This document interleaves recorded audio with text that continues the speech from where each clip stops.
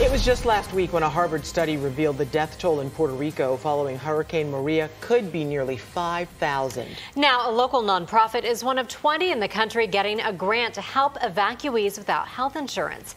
Morning anchor Kirsten O'Connor checks back in with the group in tonight's Getting Results for Your Health.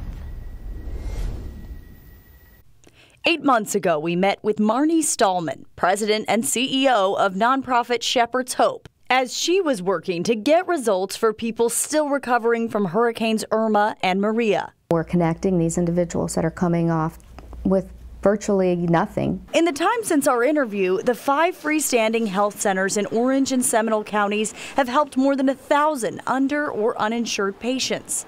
Stahlman tells us now their patient total for 2017 is 19,575 free visits. What that means is the patients that were here from Puerto Rico have not dispersed. And that's really extraordinary for us, especially at the last part of the year. That last quarter typically isn't a trending time where we see a high volume. She says Shepherd's Hope relies on donations. And this week, they'll be getting a $121,000 grant for continued relief efforts from the devastating hurricanes. This grant comes afterwards, recognizing what we did, but also helping to prepare us for what's going to come.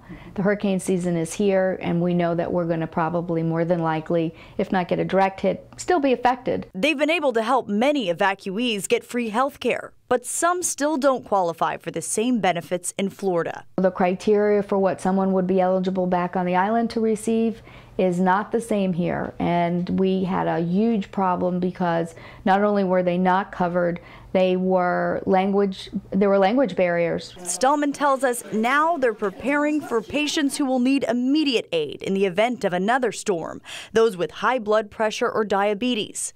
Patients like Kevin, who describes his introduction to Shepherd's Hope as a godsend. I don't have benefits and and in doing so they just really been able to help me out. And we know people want to help. Water helps, and so do umbrellas.